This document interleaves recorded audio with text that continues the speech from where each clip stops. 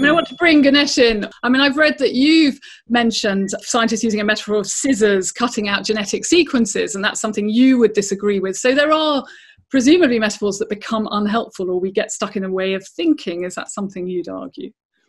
I mean, yes, absolutely. I mean, m- metaphors are are sort of time limited um, methods, basically, for getting a concept across.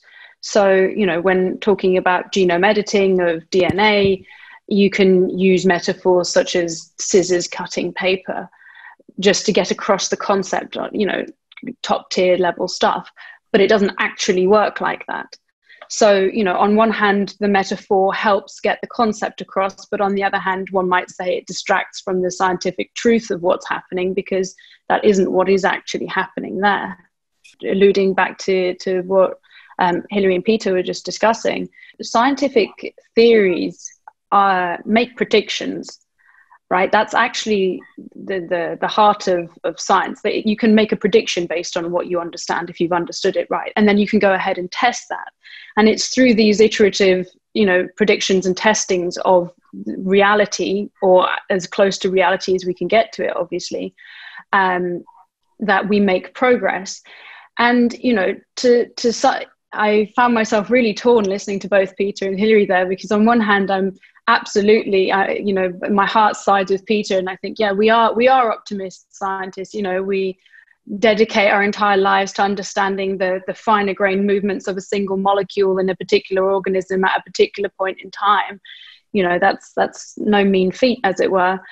But equally I feel like you know there's that the the thing that I alluded to even in my opening comments sort of um, resonated with what Hilary said about, you know, is there is there any hope for uh, an organism such as um, us to actually be able to externalize ourselves sufficiently to be able to turn back and observe ourselves?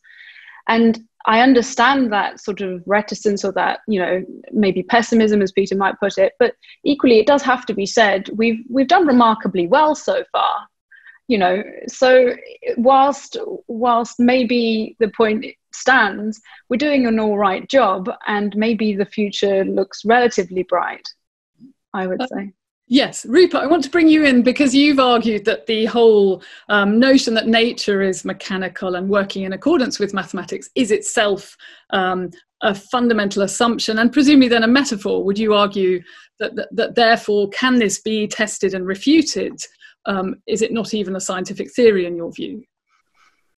Well, I think the machine theory of nature is clearly a metaphor. I can't think of an experiment you could do that would definitively refute it because you can see, uh, as Hilary said, you can look at nature in a mechanical way through that lens. If you like, the heart's like a pump. The brain could be compared to a computer to some degree. Um, but so these are all inadequate uh, metaphors. Um, I think, though, that you see, I disagree with Peter in this idea that mathematics is somehow truer. Um, you don't use maths in most of uh, science. I mean, the triumphs of molecular biology, for example, have very little to do with mathematics. There's a bit of mathematics in genetics. But, you know, when people are doing uh, mutants and, and with Arabidopsis or Caenorhabditis and these mutational studies, they're not primarily mathematical at all. I've been wading through dozens of these papers in the last few weeks, and there's no maths in any of them. If you're doing the taxonomy of orchids, you look at orchid flowers, you go to the herbarium at Kew, you look at pressed specimens of orchids, you don't use equations. And if you then assume, well, ultimately, somehow later down the line with inconceivably huge computers, we could actually figure it all out with computers, uh, that's nothing but promissory materialism or promissory mathematics. And when we come to what mathematical physicists themselves do, we find that they spin webs of what I would regard as fantasy. For example, the superstring theory, which has, predicts the existence of 10 to the 500 universes, uh, is one of the underlying theoretical uh, tissues of assumption underneath, under the multiverse theory many, many physicists, based on this mathematics, believe that there are countless unobserved actual universes, the multiverse. And uh, this, to my mind, is nothing but fantasy based on mathematics. So I don't think mathematics has any superior claim. It's just another set of metaphors, and that particular set of metaphors lead to untestable predictions that seem to me very close to fantasy. Um, Peter, would you like to come in on this notion that mathematical physicists are fantasists? Uh, possibly respond on that. Yes, but ultimately they they they test their ideas against um, observation.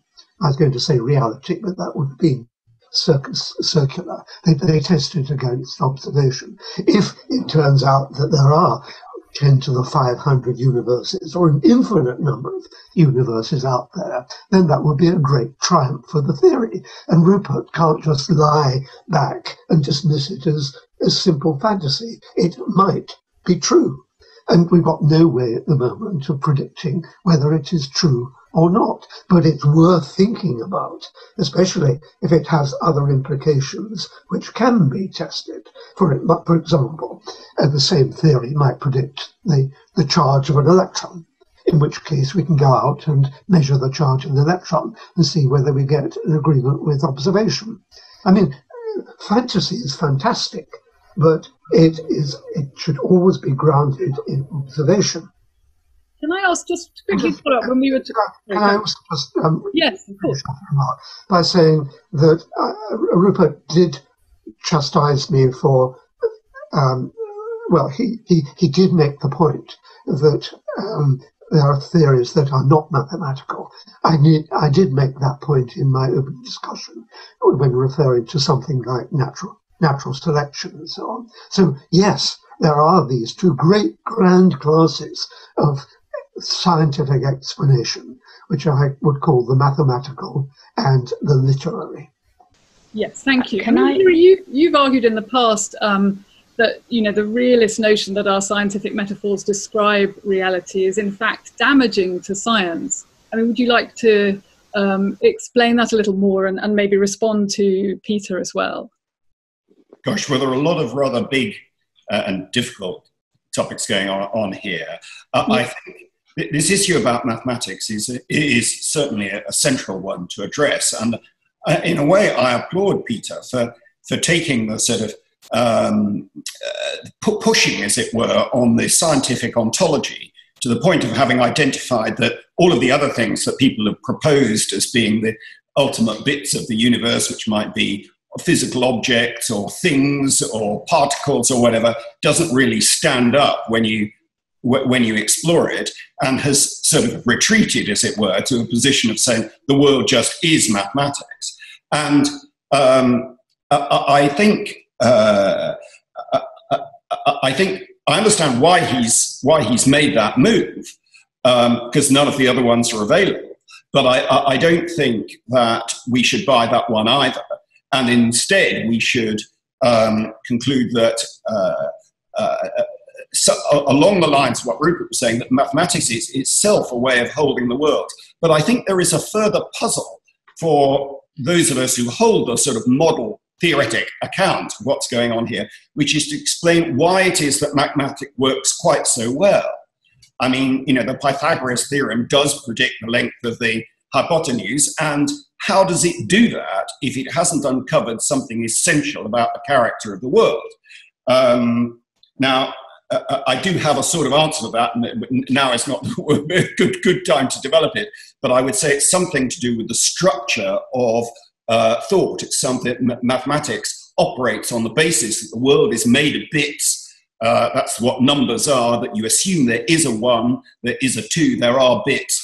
And when you apply that principle that the world is divided into bits, you can generate a logic of how those bits function. In fact, uh, I the world is not made of bits in that way. It's our thought that imposes the bits on the world, and mathematics is part of that. And uh, that's why, in the end, uh, we find uh, it can be so powerful in certain certain situations. So, the, the, yes, I mean, the mathematics question, this is the kind of third aspect of our debate, and um, we may as well go into it now, I think, because it's, as you say, Hilary, it's an enormous subject. Um, and this kind of, Güneş, I wanted to ask you about this because you use vast quantities of data. Um, presumably, is there a point at which things might become incommunicable without metaphors? So, you almost need a way to convey these? And is there a possibility that then things are inevitably simplified when they go into language? To continue watching this video, click the link in the top left or in the description below. Or visit iai.tv for more debates and talks from the world's leading thinkers on today's biggest ideas.